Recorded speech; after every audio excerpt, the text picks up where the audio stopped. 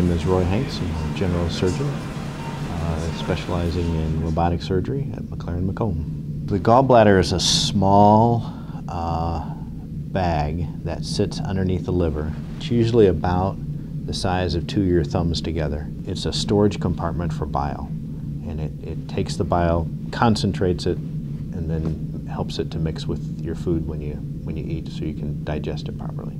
Two typical indications for removing the gallbladder. The first being gallstones, but the number two indication is actually a disease called it's called acalculous cholecystitis.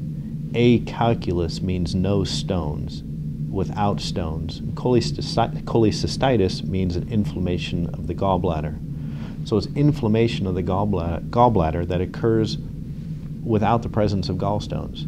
Now, regardless of whether you have this acalculous cholecystitis or if you have gallstones, the symptoms typically are the same, which is right upper abdominal pain, usually brought on after eating is most common. Uh, it's more common in its early stages with eating fattier foods. It may cause nausea along with it. Some people get diarrhea along with it as well. But the classic symptom is right upper abdominal pain after eating. A lot of times that pain will bring the person into the emergency room. I mean, it's, it's pretty severe pain. Um, some of the, this acalculous cholecystitis, the non-gallstone pain, sometimes can be less, not quite as severe, but typically they call it a gallbladder attack for a reason. It's pretty horrendous pain. It hurts like heck. Pain right here, it often drives straight through to your back or shoulder and people end up in the ER thinking they're having a heart attack frequently. It's, it's unrelenting. So talk about single site, you kind of have to rewind about 25 years or so, 20 years or so. Pretty much all gallbladders in, in the United States were removed through a pretty good size incision in the upper abdomen on the right side, kind of running along lines with the ribs along that side. Pretty good size incision, about that big. It's, they're typically with that what we would refer to as open surgery, traditional surgery. It's a significant hospital stay and a long recovery. So laparoscopy then uh, exploded through the 90s and uh, on into 2000, and now surgeons were trained with laparoscopy. They could actually do the surgery quicker, safer, with faster recovery. Obviously, much smaller incisions. You're talking about four incisions that are about uh, 12 to uh, the one in the belly button was about 15 millimeters in size. So you know you're talking a little bitty incision, and, and then the, the other three, they're total four incisions with regular laparoscopy.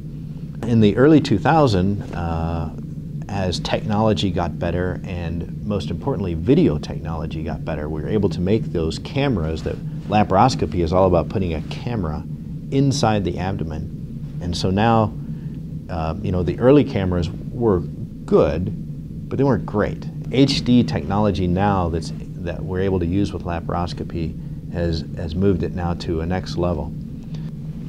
Robotics was able to take that little incision, put those instruments in, put in the most highest, the highest resolution camera with 3D technology so that when I sit down at the console, when I move my hand forward, it moves forward. When I move it back, it moves back. If I, if I twist like this, it twists like that. So the computer technology and ro robotics allows the uh, switch of all that visuals so that it becomes intuitive.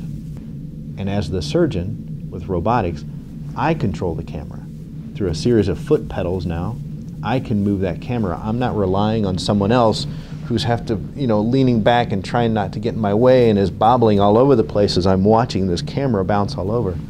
I'm in control of that.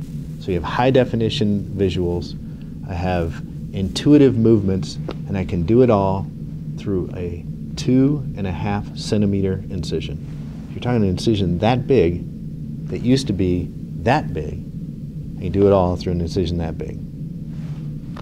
It's unbelievable difference, unbelievable difference. I think there's enough benefit through the single incision that I, I, approach it that everybody's a candidate unless there's something about them that would say they weren't. Everyone has the option for, in, for of those three procedures, the open with the bigger incision, laparoscopic with multiple ports, four ports, or single incision, everybody is a candidate for whatever, whichever one they would choose. Quite honestly, the only difference on the inside is what you see on the outside, how many incisions you have. It doesn't mean the multi-port laparoscopy uh, is a bad option. It's still a great option. It's a got a proven track record. The old style four incision laparoscopy. It's a good surgery. it's, it's got a, a good track record. It's a safe surgery.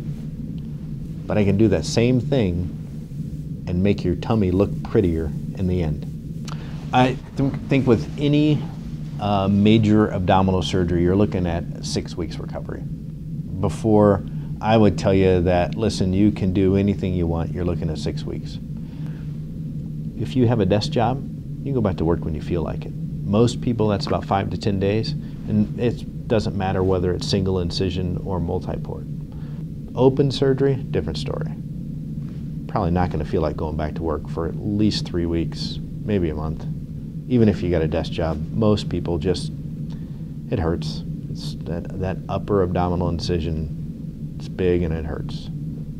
What we're seeing with robotics right now is just the beginning. It, I think this technology has incredible benefit to patients.